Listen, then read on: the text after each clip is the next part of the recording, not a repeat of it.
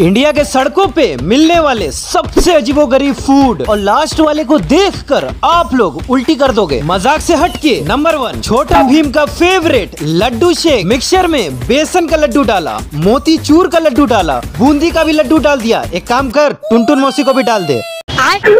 और दूध आइसक्रीम डालने के बाद बना दिया। बना दिया नंबर टू अजय देवगन का फेवरेट विमल वाला समोसा। बोलो सुबह तीसरी number three tandoori ice cream well done और ये कौन से जादुई आइसक्रीम है जो ये पिघल नहीं रहे हैं? नंबर फोर बियर वाला चाउमीन।